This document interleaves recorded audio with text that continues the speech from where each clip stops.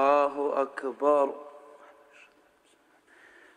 الحمد لله رب العالمين. الرحمن الرحيم. مالك يوم الدين. إياك نعبد وإياك نستعين.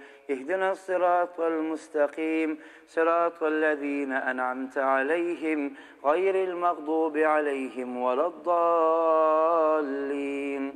آمين. قل هو الله أحد الله الصمد لم يلد ولم يولد ولم يكن له كفوا أحد. الله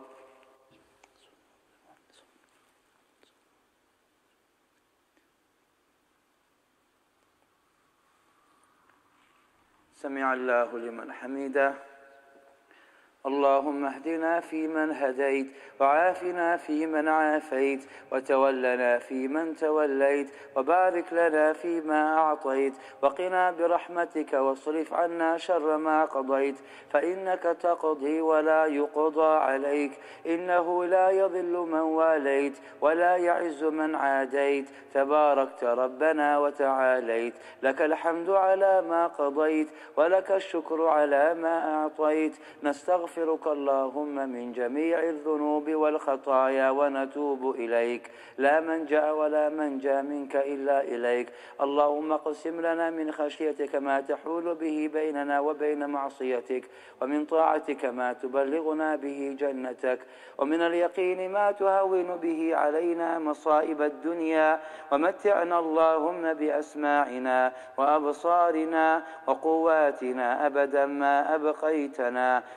واجعله الوارث منا واجعل ثأرنا على من ظلمنا وانصرنا على من عادانا ولا تجعل مصيبتنا في ديننا ولا تجعل الدنيا أكبر همنا ولا مبلغ علمنا ولا إلى النار مصيرنا واجعل الجنة هي دارنا ولا تسلط علينا بذنوبنا من لا يخافك فينا ولا يرحمنا اللهم لك الحمد كله اللهم لك الحمد كله ولك الشكر كله علانيته وسره. اللهم لك الحمد بالإسلام ولك الحمد بالإيمان ولك الحمد بالقرآن ولك الحمد بسنة نبينا محمد صلى الله عليه وسلم.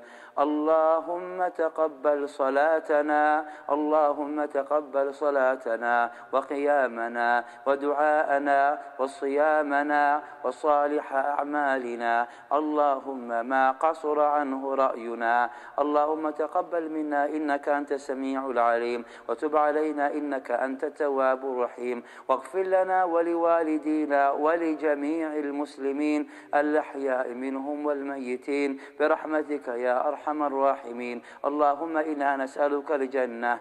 اللهم إنا نسألك الجنة. اللهم إنا نسألك الجنة وما قرب إليها من قول وعمل. اللهم إنا نعوذ بك من النار. اللهم يا واحد يا قهار إنا نعوذ بك من النار. يا ذا الجلال والإكرام. اللهم أعتق رقابنا ورقاب آبائنا وأمهاتنا وأزواجنا وذرياتنا من النار. اللهم أعتق رقابنا من النار. يا ذا الجلال والإكرام. اللهم آتنا في الدنيا حسنة وفي الآخرة حسنة وقنا عذاب النار. اللهم لا تدع لنا في مقامنا هذا ذنبا إلا غفرته ولا هما إلا فرجته ولا كربا إلا نفسته ولا دينا إلا قضيته ولا مجاهدا في سبيلك إلا نصرته ولا ولدا إلا ولا ولا مجاهدا في سبيلك إلا نصرته.